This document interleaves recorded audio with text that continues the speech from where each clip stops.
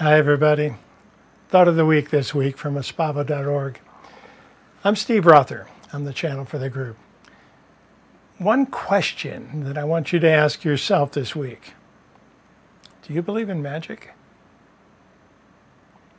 That's a pretty deep question, and it can be answered in a whole bunch of different ways. And I'll even tell you there's no right or wrong answer to that question. But by putting that question to you, gives you an opportunity to take your own magic and to create it. Because you are creator beings. We create everything that's in front of us in some way, whether we know it or not.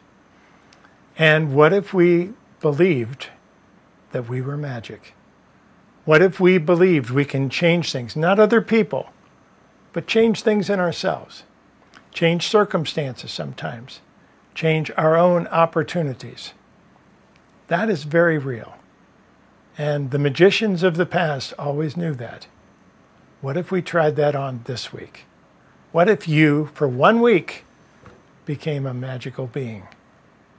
See what you can create. You have to watch for the synchronicities because most of the time you set out to create something. It's not what we're talking about. We're talking about just having magic in your life, creating the synchronicities that you will find later.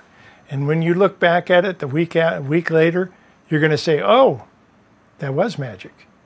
That was very unique. That was a synchronicity. Fantastic. I believe we create those, those synchronicities, those opportunities for light. This week, do you believe in magic? I do. Have a wonderful week, everybody. I'll see you next week. Espavo.